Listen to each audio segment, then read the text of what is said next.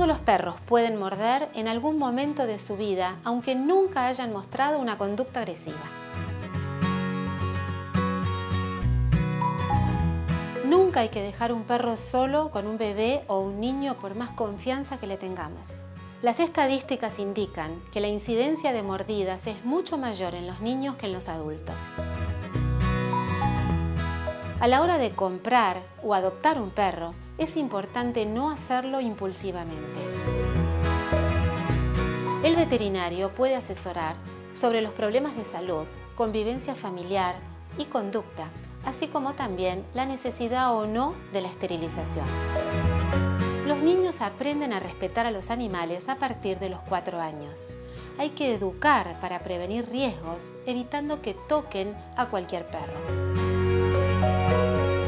Asegurarse que el cachorro haya estado en contacto con personas u otros animales durante la primera infancia. Enseñar el significado de las palabras no, quieto y vení pueden ayudarnos a prevenir una mordida. Los perros son excelentes compañeros. Los límites son necesarios para la buena educación y la prevención de mordeduras.